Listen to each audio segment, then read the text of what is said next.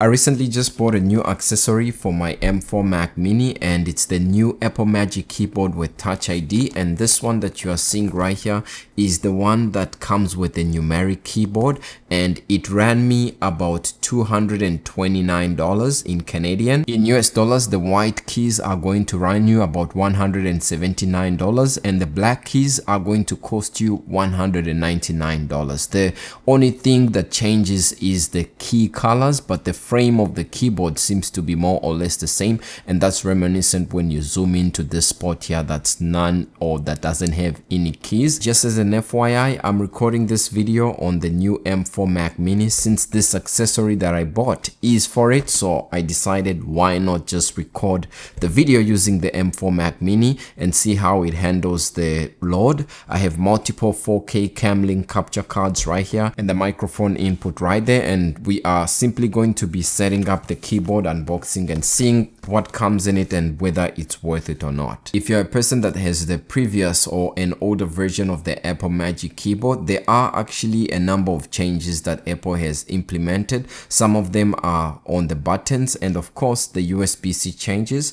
But when you want to open the new Magic keyboard, you can see this is how it looks on top. And then if we just flip it over, you can see how it looks on the bottom for me. Right here, you can see it has a pull tab that you can pull right there and then you can pull the keyboard out pull tab off. If I simply turn it this way I can now pull it out. I wish Apple would have given us a way to pop it out easier without having to flip it over like this. One of the first things that you are going to see of course is the Magic Keyboard with Touch ID guide and paperwork of course. There's multiple layers stacked together and of course it comes with a USB-C to USB-C cable for you to be able to charge or manually connect your keyboard to your Mac. The Magic Keyboard with USB-C supports connections and expansions in the form of Bluetooth, USB-C and wireless which are different means you can use to be able to communicate or connect to your keyboard. And that's just about all the accessories that you get that come with the keyboard. It's just the paperwork and the USB-C cable. And now let's look at the keyboard itself. It has this wrap around it that you have to peel off first. And there is no like green indicator to show you where you have to pull unlike the pull tab that the box has. But yeah it has this dark spot here. Even the apple mac mini when i unboxed it it had the middle dark spot there. But yeah i wish they would put like a green indicator right here to say hey pull this way because if you are almost colorblind it's sort of hard to see this spot. But now you have to pull this off like this then if I turn it over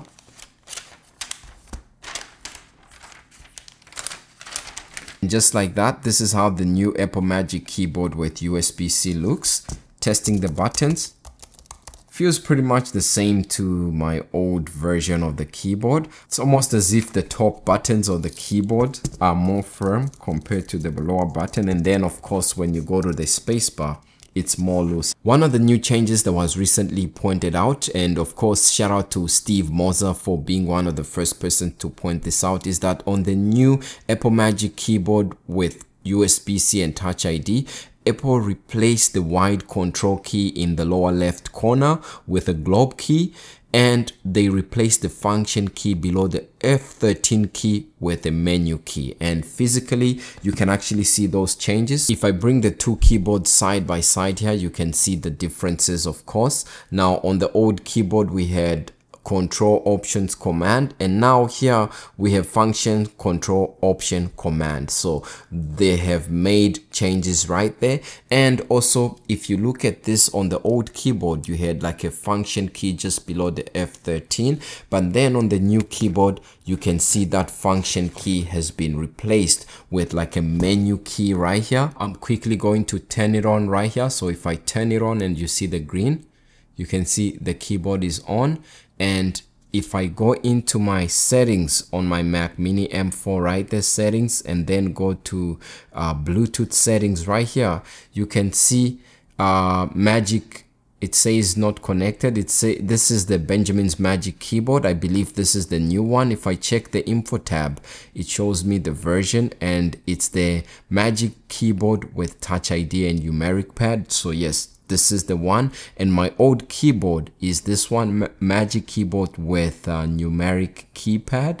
So you can see some wording differences because the new one says magic keyboard only but this one says magic keyboard with numeric keyboard with numeric keypad. For some reason the image that is showing right here for my old keyboard is correct because my old keyboard does have the numeric pad but it's not showing the new icon for the magic keyboard that has the numeric pad for some reason. But now if I go and connect to it you can see it's connected. And now if we go to uh, the info tab you can see the version of it right there. And you can see here Benjamin's uh, magic keyboard.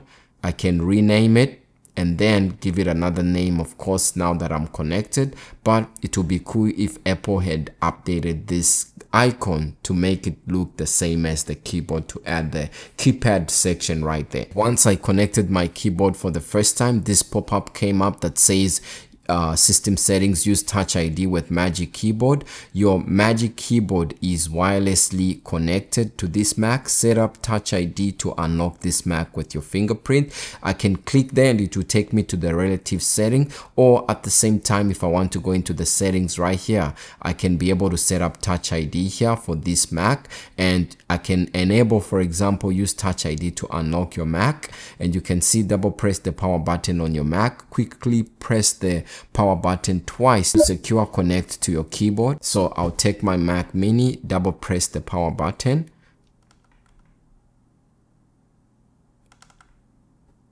Okay, that worked and now it needs my password. And now lift and rest your finger on the touch ID separately. So let me quickly do that. It's gonna take a few seconds to set up, of course. Touch ID is ready and now I'll click done.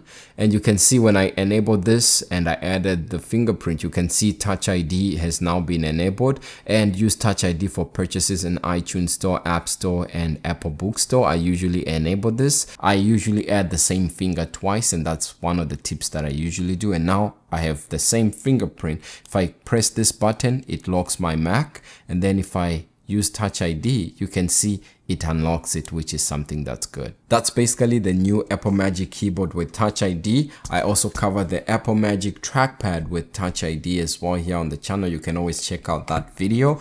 But yeah, that's all that it has to offer. It changed two keys and it adds USB-C. I wish it would add like a backlit keys or key option for you to be able to turn on and off, even though it might obviously affect battery but it would be a good addition to have for those that want to have that as an option for the price tag that it comes with. I think it should have that at least. Maybe the next version of this magic keyboard should be able to uh, give that an as an option because a number of users have already requested for that. And i doubt apple will increase the price because they already released a new mac mini with an increased ram from 8 gigs to 16 gigs and the price didn't really change so with the keyboard just adding the backlit option shouldn't really increase the price. One of the reasons why i bought this keyboard is exactly because of this. Whenever i want to sign into my different applications and websites you can see they ask me for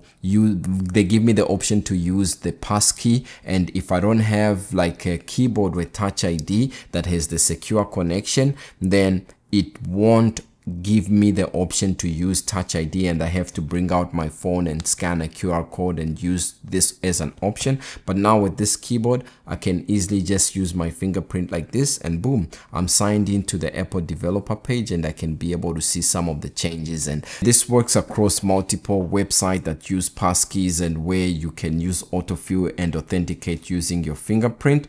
That's one of the convenience and that this keyboard has to offer. And it's one of the reasons why i actually bought it. And I think for me it's actually the only reason why I bought this keyboard. So the question is if you have the previous um, keyboard with lightning should you be buying this new keyboard with USB-C personally for me I would say the upgrade is not really worth it unless if the keyboard maybe is the only lightning accessory that's remaining in your like tech setup then maybe in that case you might want to upgrade your keyboard. But other than that this is pretty much the same keyboard the only thing that changed are the two buttons and USB-C and the compatibility list. According to Apple it's uh, Mac with Apple Silicon using Mac OS 15.1 or later but you can see some of the compatible Mac devices as well as iPads that they list. Some of them actually still have the Apple Intel chips so it's not entirely limited to Apple Silicon chips like the system requirement page mentions right here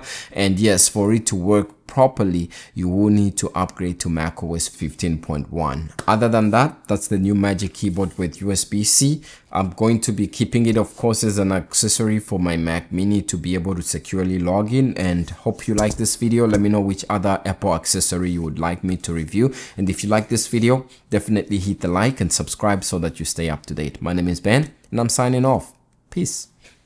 Actually, before I forget, this entire video was filmed and recorded on the new Mac Mini M4, the base model with 16 gigs of RAM and uh, 256 SSD storage. So I'll let you know maybe in one of my follow-up videos how it handled the recording. I'm using a program called Ecamm Live to capture the different cameras that I have and I'm using Camlink devices to be able to bring in the best 4K 30 FPS quality and the next thing I'm going to do is edit this video and then publish it using the M4 Mac Mini. Maybe I'll do a follow-up video and let you know how the experience has been for me. My name is Ben signing off for the second time.